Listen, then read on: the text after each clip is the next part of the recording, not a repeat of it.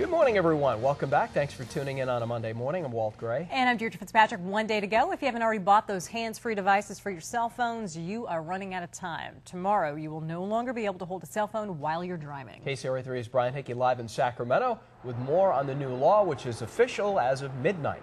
As of midnight, that's right. So tomorrow morning when you're driving into work, you got to call the boss, tell him you're running a little late. Well, make sure you've got that hands-free device.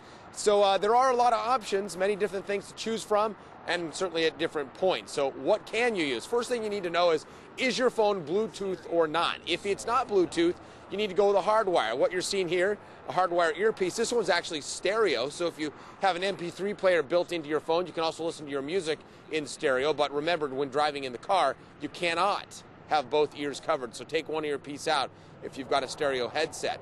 Otherwise, a lot of people these days are going with the Bluetooth, and most newer phones do have Bluetooth. That's a wireless link between your phone and an earpiece. Another option is the, uh, these kits. You can put a kit in your car where it actually allows you to listen to the phone like a speakerphone. They have them that clip onto the visor of your car, or the more expensive kits actually wire into the car. You need an installer to put that in for you, and the audio goes through the speaker in your car. A lot to choose from. But everyone will tell you, you do get what you pay for.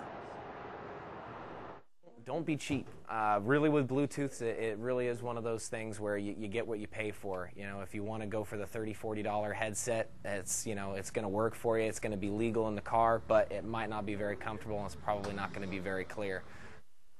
And if you've been on the receiving end of one of those bad Bluetooth conversations, it's not pleasant.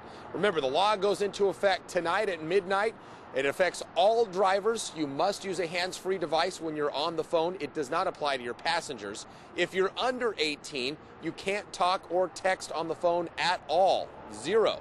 So make sure you know that. Make sure your kids know that. And this is a primary offense. If you are seen driving with a phone to your head, you can be pulled over for it. The first offense is 20 bucks, but after penalties and court fees, you're looking at around $76 for that first offense. For more information on this, log on to our website, kcra.com. Right in the center of the homepage, you'll find a link to frequently asked questions. One question we've gotten is uh, Nextel phones, push to talk.